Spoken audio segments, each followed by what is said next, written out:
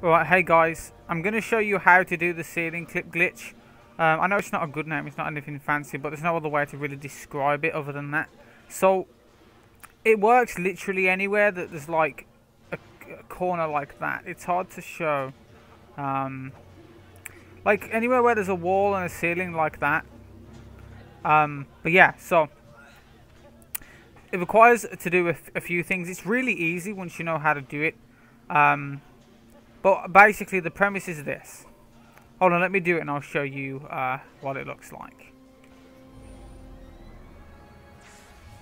And that allows us to get out of bounds.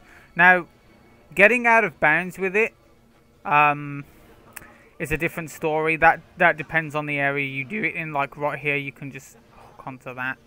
Um, there's a skip in the first level which requires you to do a rush at a certain spot and you'll always clip out.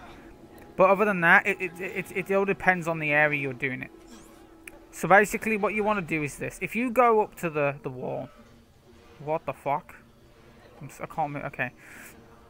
If you go up to the top.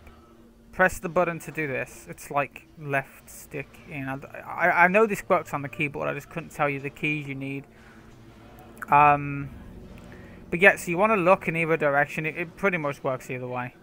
Um, now, if you know, if you watch, if I press to go back towards the wall, that'll happen. It's nothing. Just nothing. Um, like, nothing, as you can see. But, if I go on the wall and press triangle, he'll float for a second and then fall. Let me see if I can get it at a better angle to show you. As you can see, he like floats for a second in the air and then falls. So, if you press um, triangle when you're like this and then push towards the wall, he'll do that. What will happen is he'll get boosted up. Um, and then once you do that, you go into rush mode and you can see out of bounds pretty much, and that allows you to get out of bounds. Um, so, I'll give you the, the inputs. So you want to go up to the top. Do this. You want to press triangle or Y whatever button it is to get off the wall. And then just hold the analog stick towards the wall right after you press triangle and then hold rush mode. It's like three quick inputs. And you should get clipped. As you can see there, that didn't clip me right there. It all depends on like how you do it. Um, but yeah. See if I can do this skip.